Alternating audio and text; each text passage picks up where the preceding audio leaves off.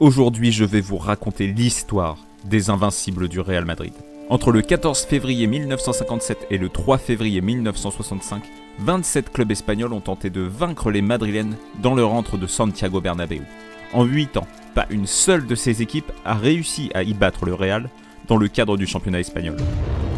Retour sur cet incroyable record, cette série de 122 matchs de Liga de suite à domicile sans une seule défaite. Un record réalisé par une génération légendaire, celle des Di Stefano, Copa, Pushkas ou encore Paco Rento.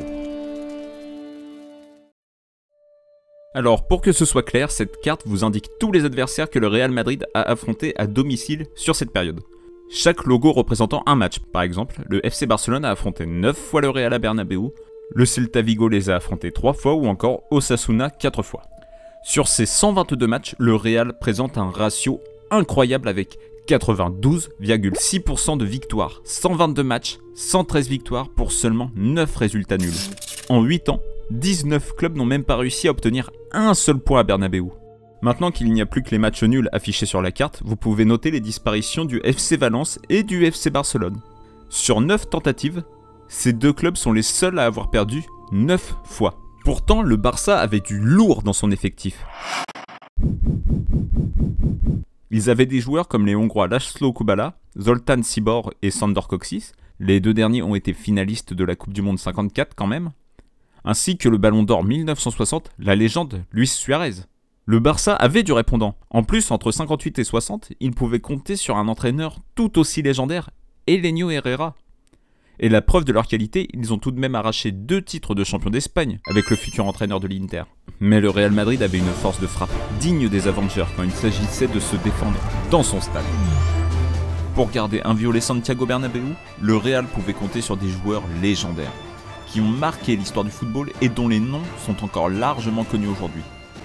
Paco Rento, le seul joueur de l'histoire à avoir remporté 6 Coupes d'Europe des clubs champions. Raymond Coppa, la légende française le Ballon d'Or 1958. Le Major galopant, le monstre hongrois, Ferenc, Pushkas. Et la flèche blonde, souvent cité parmi les 5 meilleurs joueurs de l'histoire du football, Alfredo Di Stefano. Mais maintenant j'ai une question à vous poser. Sur laquelle de ces légendes du Real Madrid voulez-vous voir une vidéo? Ferenc Puskas Raymond Coppa Ou Alfredo Di Stefano? J'arrive pas à me décider donc votre aide est la bienvenue. À vos claviers dites-moi votre préférence dans les commentaires. Donc Valence et Barcelone, recordmen du nombre de défaites contre le Real à Bernabeu sur cette période. Mais quelques autres clubs ont également marqué de leur empreinte les déplacements à Madrid. Je vous l'ai déjà dit, 19 clubs ont un ratio de 100% de défaites. Deux clubs se sont pris plus de 10 buts en un seul match, Las Palmas et Elche. Elche toujours a le record du nombre de buts pris en un seul match avec 11 buts encaissés. Elche, encore, a également la pire défense de cette période avec 32 buts encaissés.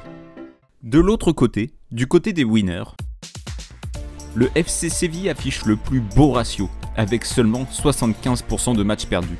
Sur 8 matchs, ils ont réussi l'impensable et arraché deux résultats nuls. Une performance XXL. Bon, ils ont aussi subi une défaite 4-0, une 6-0 et une 8-0, et quelques autres moins humiliantes. Le Betis, Saragosse, l'Atlético, l'Espagnol, l'Athletic Club de Bilbao et Osasuna s'en sortent aussi relativement bien vu que eux, ils ont arraché un point en 8 années de déplacement à Madrid. Mais dans ce marasme espagnol, où tout le monde se cassait les dents sur les défenses de Santiago Bernabéu, un club est sorti de cette décennie d'humiliation sans perdre une seule fois. Ce club est Tenerife, fraîchement promu en première division, Tenerife sera à Madrid le 4 février 62. Avec leurs modestes armes, ils résistent à la Légion d'or madrilène et arrachent le point du match nul. 0-0.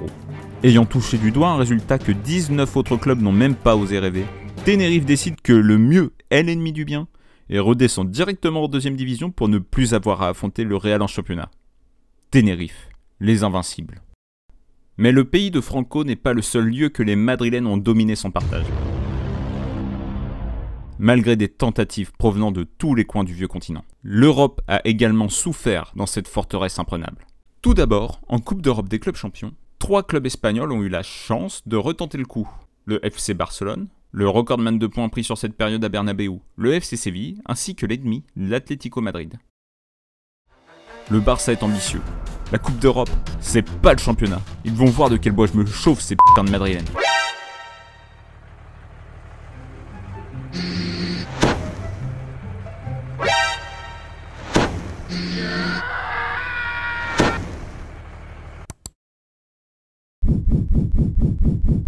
Petite précision, dans le script final, j'ai oublié d'ajouter un fait important concernant les confrontations FC Barcelone-Real Madrid de cette période. Donc je l'ajoute à l'arrache au montage vu que le Barça a un peu marqué l'histoire cette année-là. En Coupe d'Europe, ils n'ont pas joué une fois mais deux fois contre le Real Madrid.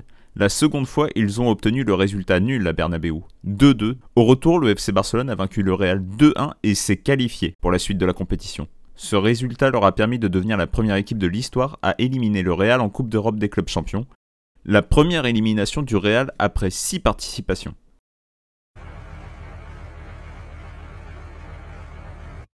Et des clubs provenant de l'Europe entière ne parviendront pas à vaincre les Madrilènes dans leur arène.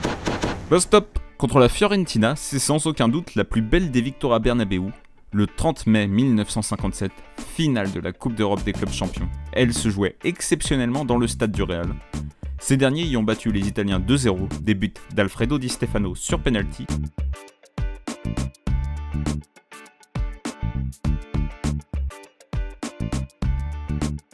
Et de Paco Rento.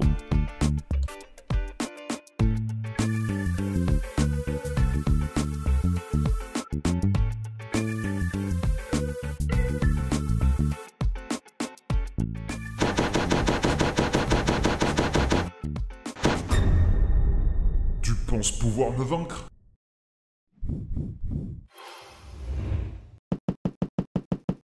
Et oui, en cette période de domination, le Real a tout de même été vaincu par un club, la Juventus, le 21 février 1962.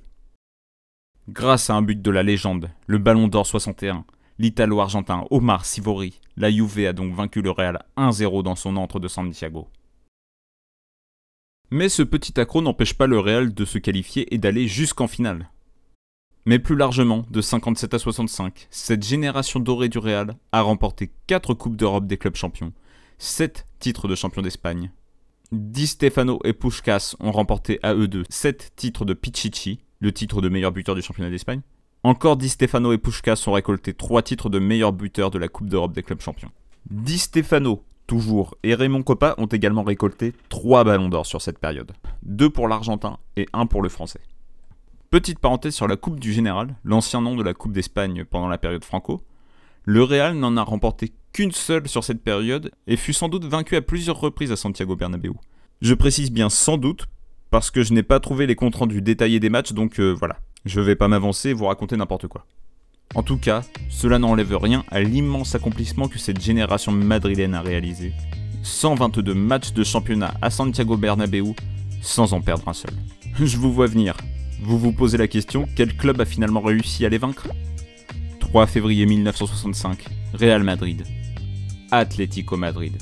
Après 7 ans, 11 mois et 20 jours, après plus de 2900 jours d'invincibilité, le Real Madrid a été vaincu 1-0 par son rival et voisin, l'Atlético. Et pour la petite anecdote, vous savez quel était le dernier club à avoir vaincu le Real avant cette série mythique? Eh oui, c'était bel et bien l'Atlético qui avait vaincu le Real 2 à 0. C'était exactement 8 ans avant cette victoire, le 3 février 1957. La boucle est bouclée. C'était Cyril Leclerc pour le corner. Aimez si vous ne connaissiez pas ce record et abonnez-vous pour ne pas manquer les prochaines vidéos.